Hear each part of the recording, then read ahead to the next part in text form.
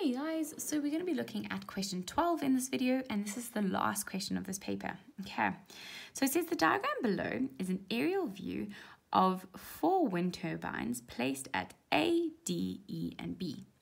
Line AB has an equation 5x plus 2y equals 60. So I've written that out there and have re um, sort of shuffled it so that it looks like our traditional y equals mx plus c, right? It's a little bit more accessible. Then A lies on the y-axis, so it is the y-intercept. B lies on the x-axis, it is the x-intercept, right, of that line AB. Then it says E is the midpoint of DB. So what that means is that length is equal to that length because midpoint means to cut in half. Okay, then it says C lies on AB and represents the control station. Okay, and then it says the area of triangle ADC, so this one here, to ECD is 8 to 9.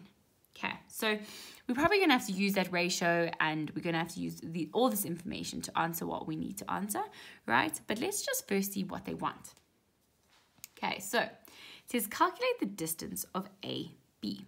Now, AB is that line there, okay? We know that AB, both of those points, lie on this y equals mx plus c line okay?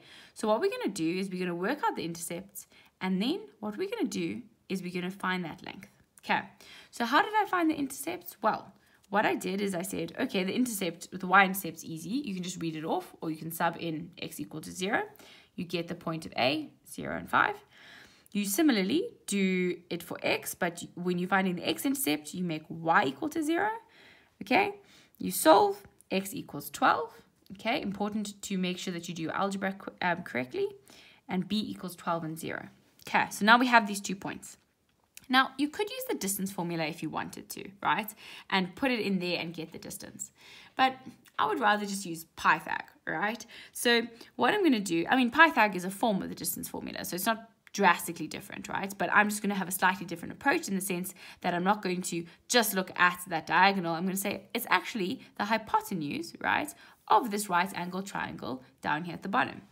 Therefore, I can say AB squared equals 5 squared plus 12 squared, and then figure it out, and AB equals 13 units. Okay, so it's important to think of different approaches. You can use different approaches, right? I'm not saying that this is the only way to do it, right? But this is just a way that is quite simple. Okay, let's go on to the very last question of this question. So I've done a bit of writing here because it's the second time that I've recorded this video. But it says find the coordinates of C. Okay.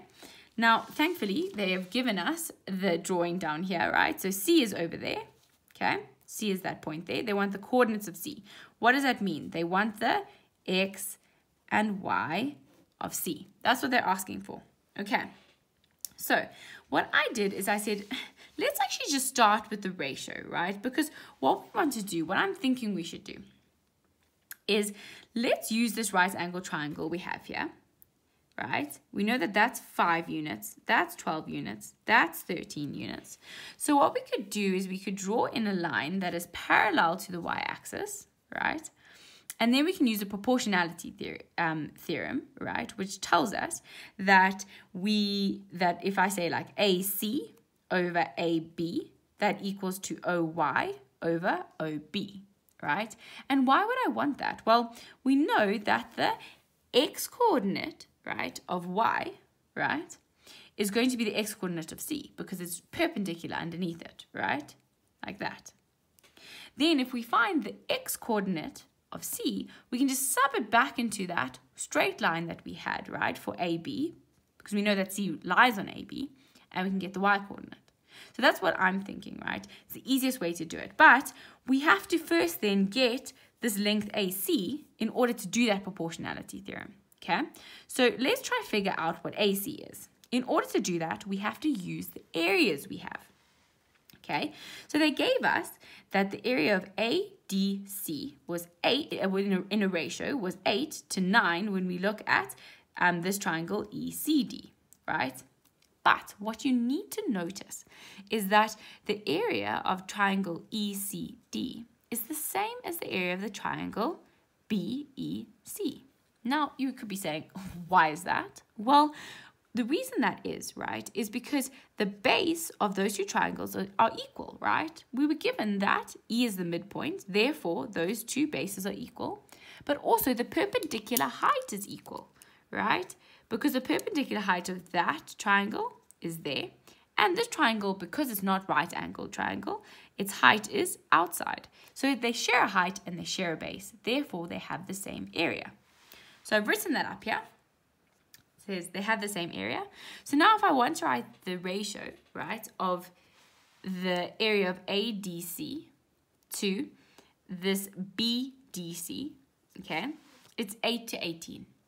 Okay, 8 to 18. So we have just created a new ratio. So now what I want is I want to find AC. I keep telling you I want to find AC. And now you're like, okay, how do you find AC marks?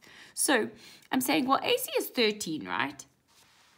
It's 13 times by a ratio of what AC is as a proportion of this larger triangle, right?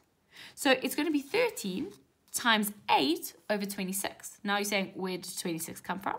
Well, 8 plus 18 gives us 26 in total. 8 is what is attributable to triangle ADC, and 26 is the whole of this very big triangle here. Okay, so then AC is 4 units. Okay, so we've got that AC is 4 units. Now, because we have AC, we can go straight into our proportionality, right? So we can say, right, I'm going to call this OY. This OY is just going to be X, okay? That OY is just going to be X. So I'm going to say, okay, we know that X over 12, right? So I'm saying OY over OB, okay, because we know that OB equals 12 because our x coordinate here is 12 and 0. So the length from O to B is 12 units. So I'm saying OY x over 12 equals 4 over 13, which is the same as AC over AB.